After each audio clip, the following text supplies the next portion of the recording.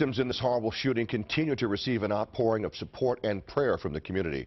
This as family members are starting to speak out on how special Tyler Johnson and Brianna Benlolo were.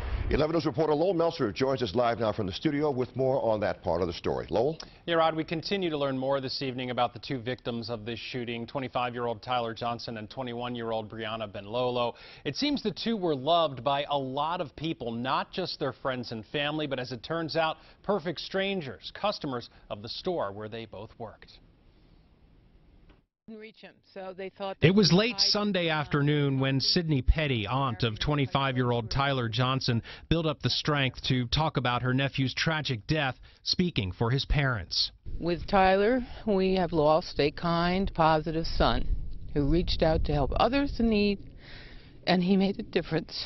Petty telling 11 News Johnson was a board member of a Howard County Serenity Center helping out people who were addicted to drugs, as he had struggles in the past as well. He had his struggles in life, and he um, struggled very hard to overcome his problems, and then he reached out to others to help them overcome theirs. As far as 21-year-old Brianna Benlolo, Petty says she and Johnson only knew each other as co-workers at Zumiez in the Mall of Columbia. Benlolo leaves behind a two-year-old son, and according to family members, she had a good relationship with her son's father.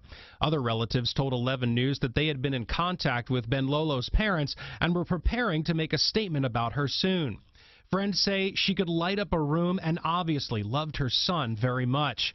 In the meantime, friends and loved ones, even former customers, have been airing their grief through a Facebook page set up to memorialize the two victims. Almost 7,000 people have joined the page, sharing stories and prayers, trying to make sense of this horrible tragedy. Johnson's aunt kind of summed it up on Sunday. Our prayers are with him, the other victims, and all the people who have been touched by this senseless violence.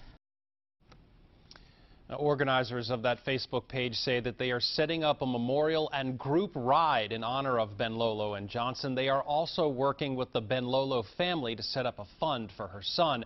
For more information, we provided a link at WBALTV.com.